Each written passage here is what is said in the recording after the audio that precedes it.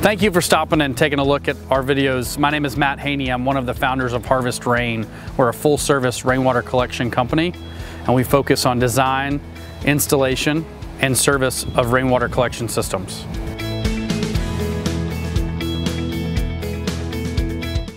Oftentimes people ask us, how do I know how much water is in our tank?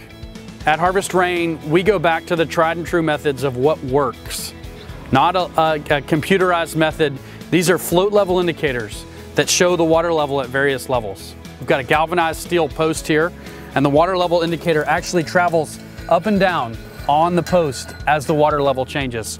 Currently you'll see that the tank is, uh, is actually at its lower point. These tanks were recently installed so we haven't had a full winter of rain yet to fill these things up. We prefer this liquidator water level indicator because it's tried and true, works without fail, and is very easy to see the red indicator from a distance. We located this water level indicator on this location of the tank because the customer actually likes to look out their window from their kitchen while they're drinking coffee to see how much water they have in their water tank.